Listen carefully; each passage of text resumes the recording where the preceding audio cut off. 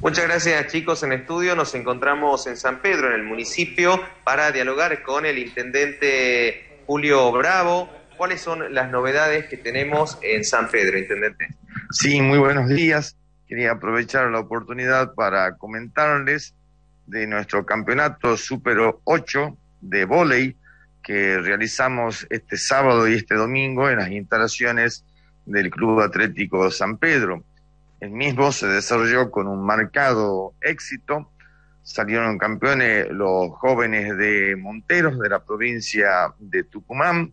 Participó equipo representante de Salta, del Chaco, de Córdoba y cuatro equipos jujeños. El público nos acompañó, habíamos conseguido este, la autorización también de provinciales eh, para que la gente pueda acceder. Hubo 200 personas por cada uno de los eventos que se realizaron en cuatro jornadas distintas durante dos días, cuatro horarios diferentes. Las delegaciones se han ido muy contentos por la atención que le brindamos y para los equipos jujeños ha sido eh, una experiencia única, ya que han tenido que competir con rivales de una gran experiencia, eh, que pocas veces se logra hacer esto, esto de tener competencia con alguien que sea mejor en el nivel que el que tenemos aquí. El mejor de los equipos de Jujuy ha sido Sociedad Española, este, pero nos ha servido mucho, incluyendo, por supuesto, a nuestros muchachos de San Pedro. Esta experiencia seguramente la vamos a seguir repitiendo, vamos a apostar también a las categorías inferiores del vóley, juveniles, por así llamarlo, pero el vóley, que es un gran éxito en nuestra ciudad, ha tenido un punto muy alto este fin de semana pasado con este torneo de Super 8. Bien. Hablando de los eventos intendentes, bueno, hicieron el festival El Asado acá en San Pedro de Jujuy. ¿Qué balance puede realizar al respecto? Bueno, fue el Festival de la Estaca, el del asado a la estaca. Fue un gran éxito realmente. Hubo más de 30 competidores de distintos puntos de la provincia. Llegó gente desde La Quiaca, también gente desde Yuto y de distintas localidades de la provincia de Jujuy.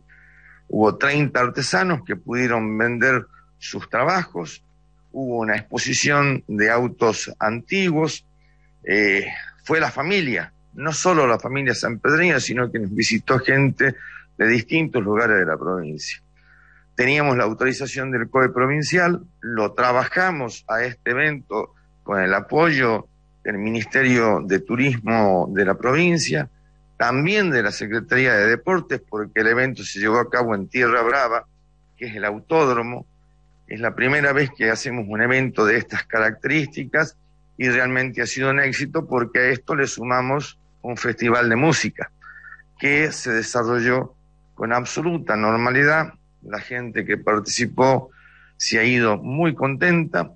Este, así que es un evento que es el primero de estas características que se hace en la provincia. Fue al aire libre, cumpliendo todas las medidas previstas por el COE, como por ejemplo había un puesto de salud del Ministerio de Salud del Gobierno de la provincia, donde no solo se hacía control de temperatura, sino que también estaba habilitado para que la gente se vacune.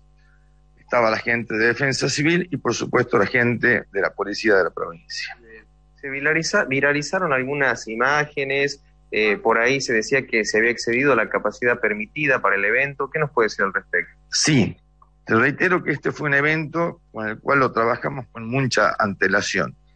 Trabajamos en distintas reuniones con la policía de la provincia habíamos coincidido en que podíamos eh, trabajar con la mitad de la capacidad del predio, que de acuerdo a bomberos era 1.250 personas.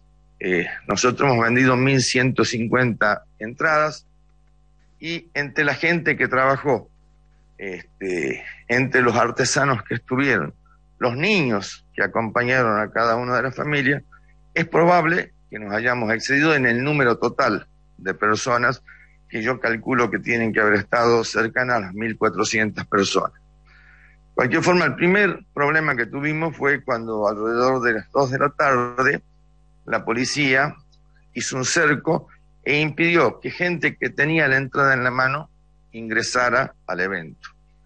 Eso hizo que a través de distintas gestiones que hicimos telefónicamente, la gente estuviera alrededor de 40 minutos a una hora en la puerta del predio sin poder acceder eh, a entrar. Solucionado eso, después de este tiempo que señalo, la gente pudo ingresar. Reitero, gente que tenía entrada en la mano. Yo quiero destacar que este es un evento que ha sido organizado por la Municipalidad de San Pedro. Nosotros tenemos autonomía. Nosotros somos los que dictamos nuestras propias normas en la ciudad de San Pedro. Lógicamente tienen que estar en consonancia con lo que determina el Código Provincial. Por eso estuvimos en permanente contacto con ellos. Lo que la policía no debe hacer en este tipo de eventos es justamente esto, impedir el acceso de gente que tenga entrada. Si la policía cree que hemos violado alguna norma, tiene que hacer como corresponde un acta de infracción. Y la justicia contravencional determinará, dando derecho a la defensa, quién tiene razón. El otro incidente, que es el que se viralizó, eh, sucedió al final del festival. Estaba tocando el último conjunto, eran las 18 horas, el horario lo fijó la Municipalidad de San Pedro. En esto que somos autónomos, tenemos las facultades como para fijar el horario. Estaba cantando el último tema e Infantería irrumpió en el escenario al mando de un oficial de la policía e hizo que se suspenda, que deje de tocar la orquesta, sin previo aviso. ¿Qué hubiera correspondido? Que se acerque a quienes conducían el programa y le digan, señores, ya está la hora, hay que ir desalojando, perfecto daba la posibilidad a que quienes conducían anuncie que terminaba el festival y todo el mundo se iba a la casa sin problema. Ahí fue donde se sucedieron los hechos que se han viralizado. Yo reitero, a mí la gente me ha elegido para defender los intereses de la gente y yo quiero que a, a mi gente se los respete, se trate de la policía o de quien sea. Así que es un hecho que lo voy a seguir haciendo, es decir, voy a seguir defendiendo los intereses de la gente dentro del marco de vigencia de la ley. Este, sucedido esto, eh, la gente se retiró sin ningún tipo de problemas, pero creo que hay una falla, falla muy grande por parte de la policía. Ni siquiera en épocas de la dictadura militar se suspende un evento organizado por la Municipalidad de San Pedro de esta de esta manera. Por supuesto, he efectuado los reclamos pertinentes ante las autoridades que correspondan. En el evento estaban presentes la diputada nacional Gabriela Burgos, estaba presente Piqui Bernis, presidente del bloque de diputados del Frente Cambia Jujuy, intendentes, funcionarios y la familia. No hubo ni un solo incidente. Fue un festival que se desarrolló con alegría, con tranquilidad, con niños. Absolutamente nada justificaba el accionar de la policía. Y si algún, eh, si me excedí en alguna de mis palabras, pido formalmente disculpas, pero reitero, mi obligación es defender los intereses de la gente. Perfecto. Bueno, Marcelo, ahí teníamos el testimonio del intendente de San Pedro de Jujuy hablando de lo sucedido ¿no? en el Festival del Asado a la Estaca. Bueno, eh, no sé si nos está escuchando el intendente. Eh, no, ¿No? ¿No? tiene retorno en estos momentos. Le transmito tu pregunta. Bueno, el tema es que, bueno, más allá de que será la, la, justicia en este caso contravencional, el tema de los reclamos que acaba de mencionar recién el intendente que hizo ante las autoridades de seguridad, el tema de ver qué es lo que pasó, si se excedió o no la policía. También en esas imágenes eh, se había viralizado, que se viralizaron, se lo veía también al intendente sin barbijo, que es un poco también lo que llamó la atención, ¿no? A ver, ahí le consultamos.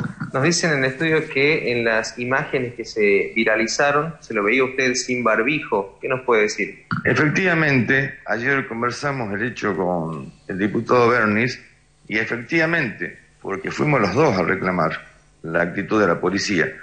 Lo que corresponde es porque ese fue un error que hemos cometido, nos vamos a presentar ante la justicia contravencional a pagar la multa que corresponde.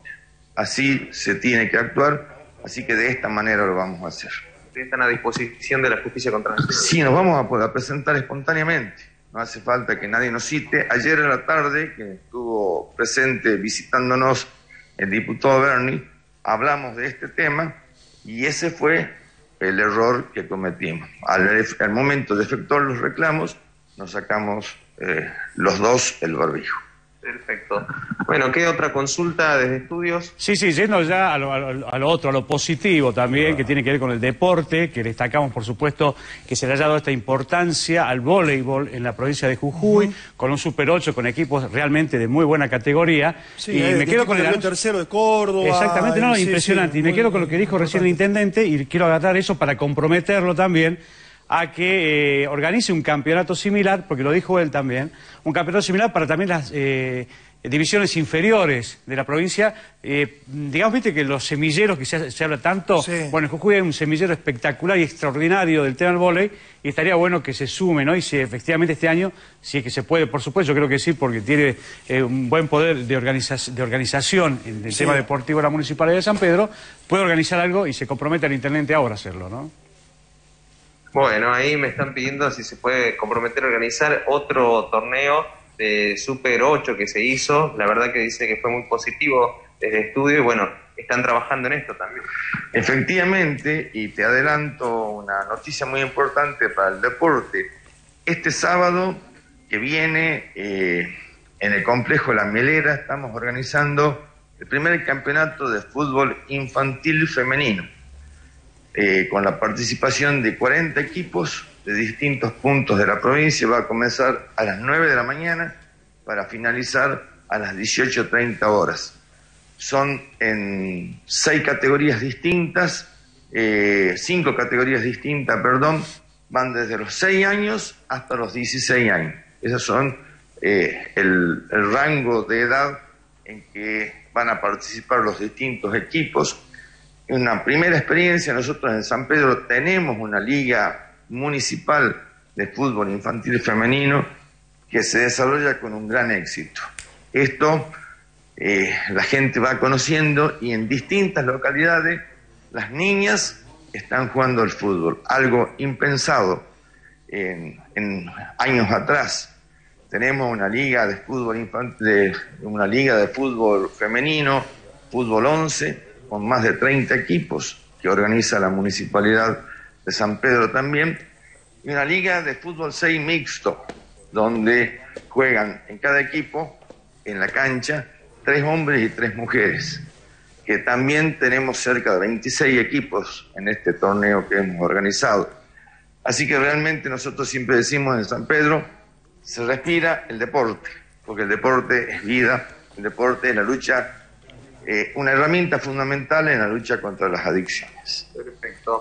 Bueno, Marcelo, entonces ahí con la actividad deportiva y todo lo que se está organizando acá en San Pedro de Jujuy. Perfecto, bueno, agradecerle por el contacto y la deferencia del intendente, porque sabemos que estaba por viajar a Jujuy, y bueno, te esperó, después, mercedes a, tus gestiones, Cristian, te esperó para poder tener esta nota, así que te, agradecemos, ¿eh? Gracias a Y, y antes que nada, Cristian, feliz día al movilero. Ah, es Ay, feliz día. feliz día. muy merecido, feliz día. Movilero Estrella. Vos sabés, vos sabés, Movilero Estrella, que íbamos a hacer justamente un brindis acá, pero vos no estás, así que bueno, lo hacemos igual. Lo hacemos igual. Así, igual, festejen, festejen sin mí. No sería nada sin ustedes que me dan el espacio para llevar cada nota, ¿no? Perfecto. Abrazo, ahí, gracias. Usted se lo merece. Sí, Por algo sí, es nuestro periodista y mobiliario estrella, como lo hemos bautizado el año pasado, ¿eh? Así que... Y nos alegra, ¿eh? personalmente me alegro que esté, la No, sí, por supuesto, por supuesto. Y más, vamos a pelear para que le den un, reconocimiento, algún, alguna mención. Sí, claro, por supuesto. se lo merece, Cristian, se, lo merece, se lo merece. Gracias, Marcelo. Bueno, hasta pronto. Hasta pronto. Chao, Cristian, hasta luego. Ahí está, mirá, mobiliario estrella. ¿eh? Así era el año ¿eh? pasado. Pero el año pasado, convengamos que se animaba a hacer esto porque no había nadie en la calle. ¿Se acuerdan que estábamos en la cuarentena? No había nadie, entonces se animaba. Estaba esperando. Quien te esperaba se tiraba un paso. Y así nacía, digamos chicos, así nacía. Así se gestaba. Se gestaba nuestro mobiliario estrella. Le somos la